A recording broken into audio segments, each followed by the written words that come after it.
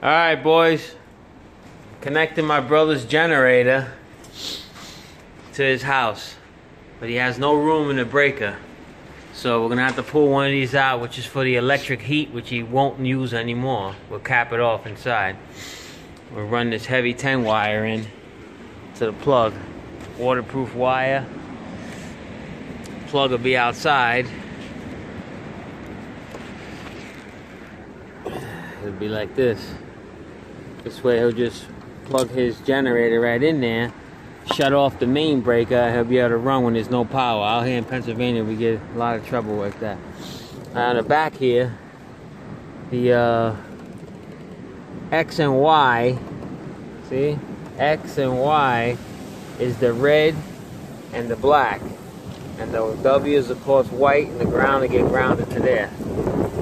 Alright, I'll be back in a minute. Alright, see what I did there?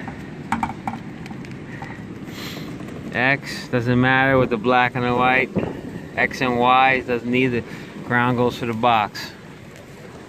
See how nice and neat it looks? Nice and neat. Alright, we go inside. We'll find a breaker here that we can use. Alright, be back here. Alright, see I installed the uh, 30 amp breaker. I piggybacked it because you don't have no room. Later on, we're going to put a bigger panel in. So, these here, these two wires, the white one and the black one here, are going to his water pump for the septic. Then this red and this black is for his uh, generator, the power coming in from the generator. Alright, you hook your neutral up to the neutral block and the ground to the ground block. Over here, neutral. They're both neutrals, doesn't matter.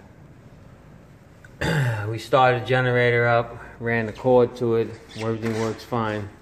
Here's the cord you'll need, plugs into the outside. Everything works fine, it'll be good for the storm. Alright, like and subscribe.